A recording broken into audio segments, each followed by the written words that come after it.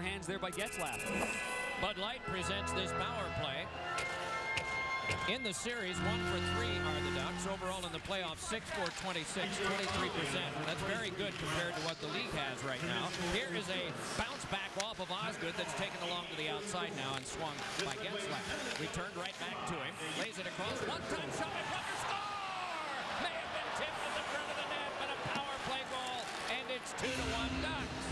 Well, a face-off win right off the bat for the Ducks.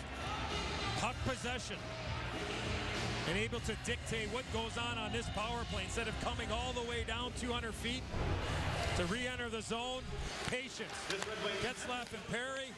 Getzlaf gets it over to Chris Pronger, and look at Scott Niedermayer, Again. defenseman playing in front of the net, screening Chris Osgood, but a one-timer by Pronger.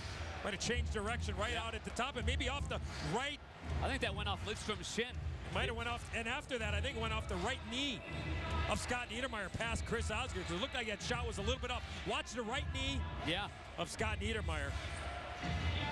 Nonetheless, a power play goal with Pronger shooting it. Maybe Niedermayer got a piece, but the face-off win allowed them to get that power play goal.